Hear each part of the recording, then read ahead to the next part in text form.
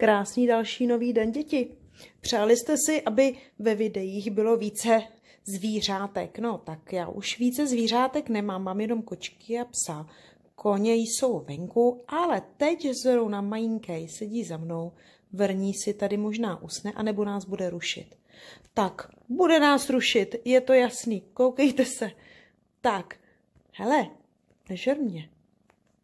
Hm, je mu to jedno. Tak jdeme pracovat. Na žádost Honzíka s Tomášem zařazuji video s příběhem. Takže budete muset dávat dobře pozor, protože příklady na sebe budou navazovat a když byste udělali chybu, tak ta chyba už se s vámi potáhne až do konce příběhu. Ale aby my jsme tomu zabránili, tak si každý příklad raději zkontrolujeme, protože bych nerada měla zklamání na konci příběhu. Chci, abyste si to užili. Takže jdeme na to.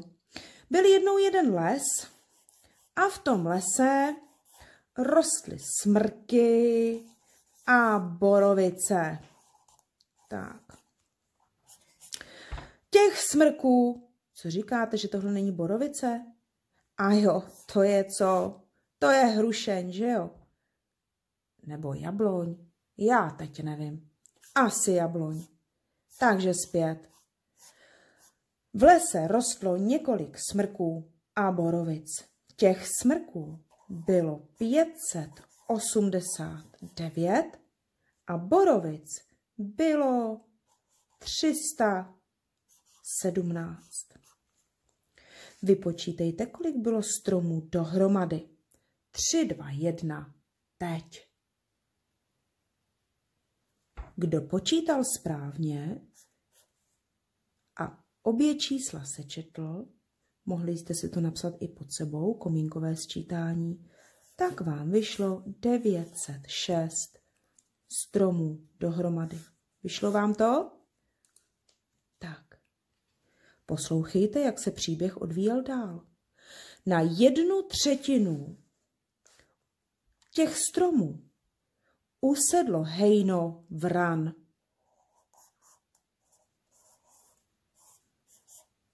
Na jednu třetinu usedlo hejno vran. Třetina. Když chceme vypočítat třetinu, budeme číslo dělit čím? Třetinu, už to tam slyšíme. Třemi. Výborně. Vypočítejte. Stopněte 3, 2, 1 teď. Pro kontrolu počítáme společně. Vrátili jsme se, pojďte na to, 9 děleno 3 jsou 3. 3 krát 3 je 9, zbytek 0. Očkrtnu 0 a připíšu 0. 0 děleno 3 je 0. 0 krát 3 je 0, zbytek tedy 0. Připíšeme šestku, 6 děleno dvěmi, eh, třemi jsou 2, 2 krát 3 je 6, zbytek 0. Doufám, že i váš výsledek je 302. 302 je jedna třetina stromů, které obsadilo jedno hejno vran. Každý strom, na kterém seděly ty vrány, tedy na té jedné třetině, tak každý strom měl šest větví. Kolik to bylo větví dohromady? Jak budeme počítat? Každý strom měl šest větví. Tak určitě jste si odpověděli, že budeme násobit šesti. Pojďme na to. Tři, dva, jedna teď. A jdeme na společnou kontrolu. Šest krát dva je dvanáct. Pamatuju si jedničku. Šest krát nula je 0 krát 1 plus 1 je 1 a 6 krát 3 je 18. Napíšu 18. Vyšlo vám číslo 1812. Bezvadný. No a my pokračujeme dál v příběhu. Na každé větvi sedělo deset vran. Na každé větvi sedělo deset vran. Kolik to bylo vran? tak na každé větvi, těch větví bylo 1812, sedělo 10 vrán, tak ty větve vynásobíme deseti a my víme, že když násobíme deseti, přidáme nulu. Takže je to tak? Zkuste teďka nahlas přečíst toto číslo. Správně je to 18 120 vran.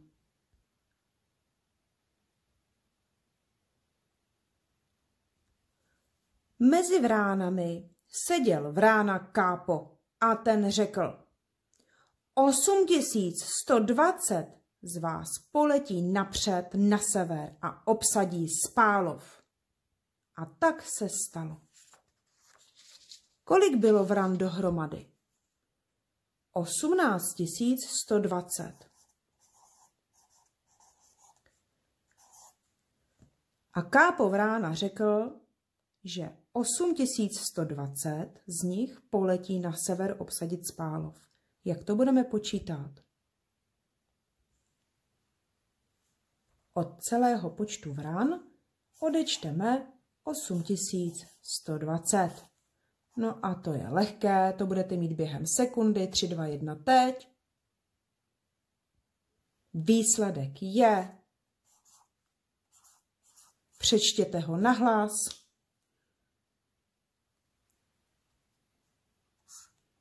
10 tisíc. Máme? Co těch 10 tisíc vlastně znamená? To je počet vran, které zbyly v tom lese na těch větvích. Je to tak? Protože 8120 odletělo z celkového počtu vran a tohle nám zbylo. Ano? Tak a my pokračujeme zase dál hejno 8120 vran, letících na kopec Spálov, se v horách dostalo do mlhy. Do mlhy. Polovina se ztratila. Jak vypočítáme polovinu z letícího množství vran? Tak, že číslo vydělíme polovina, když něco rozříznu na půlku, máme dvě části, dvě půlky, takže vydělíme dvěmi. Prosím, vypočítejte, kolik pokračovalo dál vran v cestě. 3, 2, 1, teď. Takže je tu kontrola, 8 děleno 2 jsou 4, 4 krát 2 je 8, zbytek 0. Připíšeme jedničku. 1 děleno 2 nejde, je to 0, 0 krát 2 je 0, do jedničky zbývá 1. Připíšu dvojku, máme 12 děleno 2 a to je 6, 6 krát 2 je 12, zbytek 0, připíšu 0, tady připíšu 0, protože 0 děleno 2 je 0 a 0 krát 2 je 0 a zbytek 0. Takže odpověď zní, že v cestě dál pokračovali 4060 ptáků vránovitých. Je to tak? Myslím, že ano. Takže 4060 vran dorazilo do svého cíle na kopec Spálov, který je od jak živa opředený pověstmi. Jedna z nich praví, že ve skalách, které se nachází v blízkosti toho kopce, je ukrytý poklad. A ten poklad, že se skládá, a teď si pište ta čísla, z tří tisíc kusů safíru, z tisíce smaragdů, z pěti tisíc diamantů. A osmiset rubínů. Napsali jste si tato čísla stejně jako já teď? Tři tisíce safírů, tisíc smaragdů, pět tisíc diamantů a 800 rubínů? Máte stejná čísla? Je jedno, jestli pod sebou nebo vedle sebe?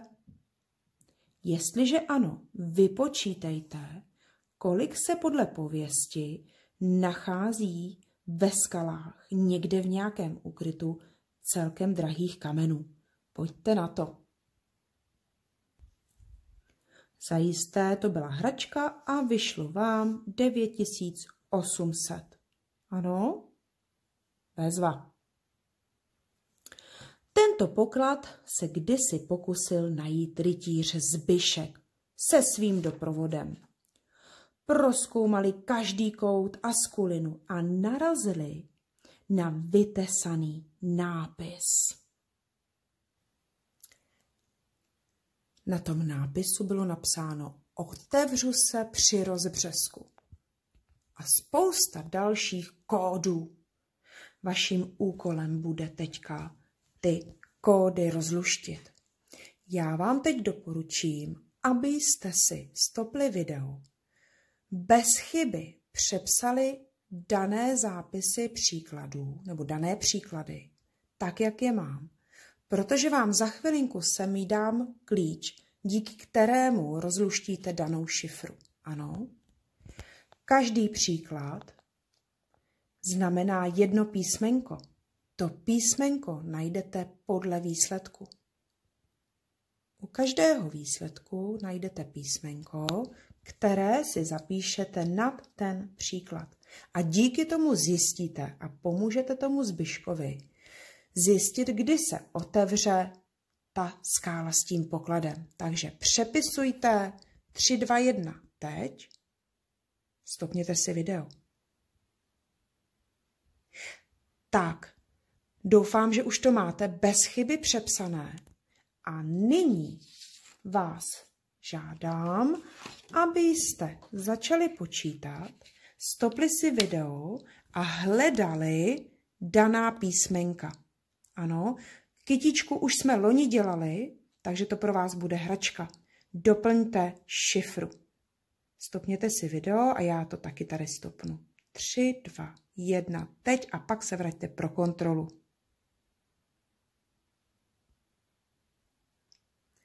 Kontrola. Otevřu se při rozbřesku v hodině páté, dnu čtvrtém a měsíci třetím.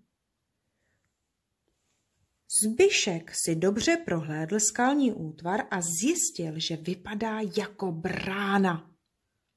Zprávu si zapamatoval a dalšího roku se vydal znovu na kopec Spálov.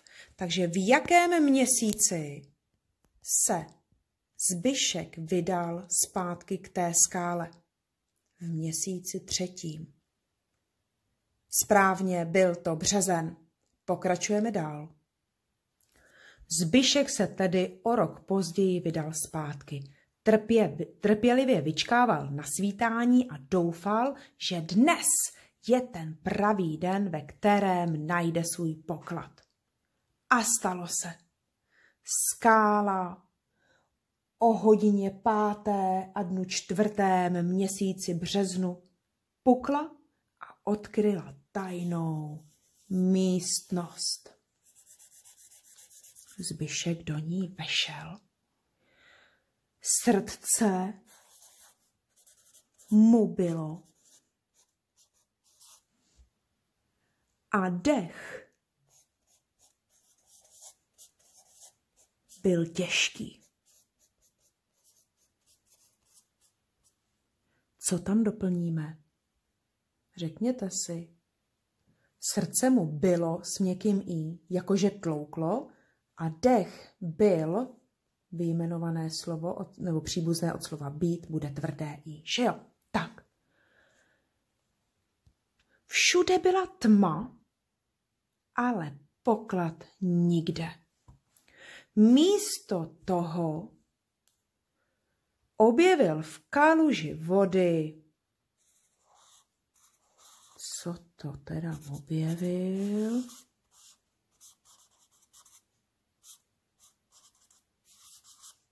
Objevil tam žábu. Co tady děláš? zeptal se Zbyšek. A žába z čista jasna odpověděla. Čekám tady na tebe.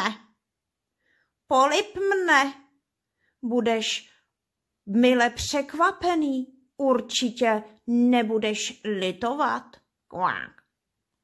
No, princ samozřejmě znal dobře pohádky a taky moc dobře věděl, že každá zakletá žába rovná se, no krásná princezna, že jo? No, takže nelenil a sladce žábu několikrát políbil. Schválně. Kolikrát myslíte, že princ žábu políbil? Políbil ji čtyřikrát. Ale co se stalo? No to překvapení. Z žáby se stal raz, dva, tři, čtyři čtvrté políbení. Obr. No, myslím, že princ mohl být rád, protože kdyby jí políbil šestkrát, tak by se mohl setkat s rozzuřeným smajlíkem a to bych mu opravdu nepřála. Takže z žáby, bylo to velké překvapení, se nestala princezna, ale stal se obr.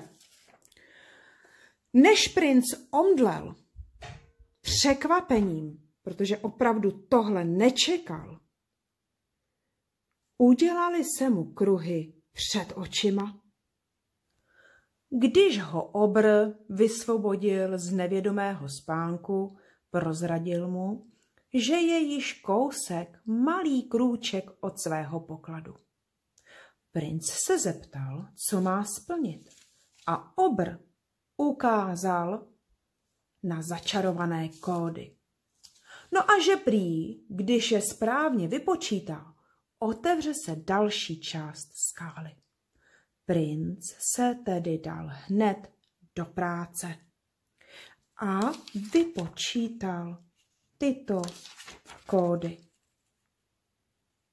Schválně, jestli princ počítal správně. Pojďte si teďka napsat tyto příklady a zkontrolujeme princovo počítání. 3, 2, 1.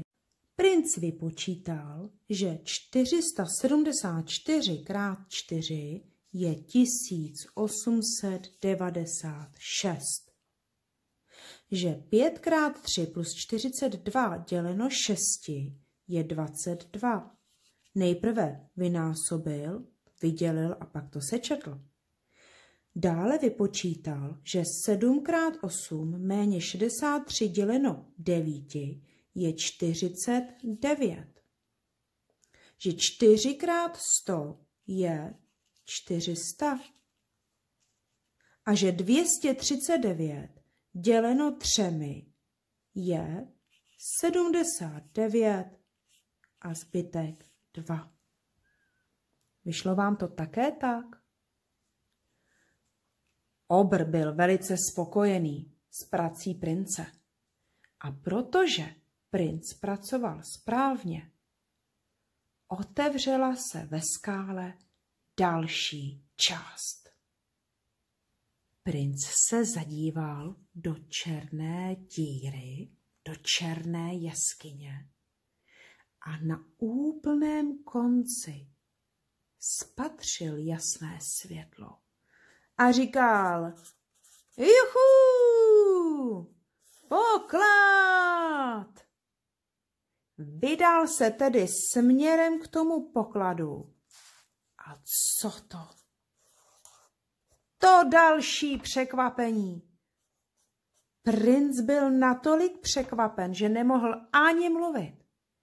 Ale tentokrát to už nebyla žádná žába, ani žádný obr, ale byla to krásná princezna která měla dlouhatánské šaty, poseté všemi těmi drahokami.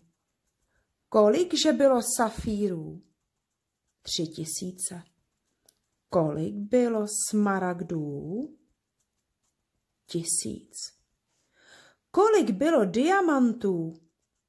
Pět tisíc. A kolik bylo rubínů? Osmset. Ty šaty zářily a princezna zářila též, protože byla velice šťastná, že jí konečně vysvobodil nádherný princ. Princ byl šťastný. Svatba byla ještě druhý den. Taková krásná nevěsta a ještě takové veliké věno.